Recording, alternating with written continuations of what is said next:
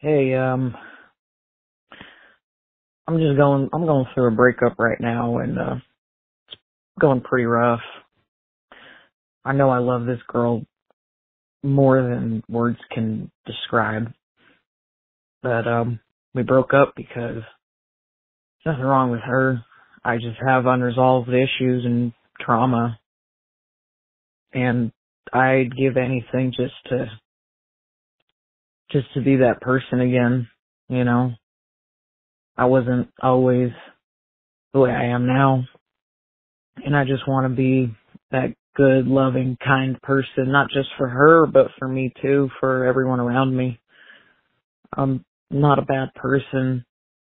I've just got issues at heart. I know I love, I can love so deeply and show that how much I truly love. And, uh, right now I'm just trying to live for me, trying to fix my shit. So, yeah.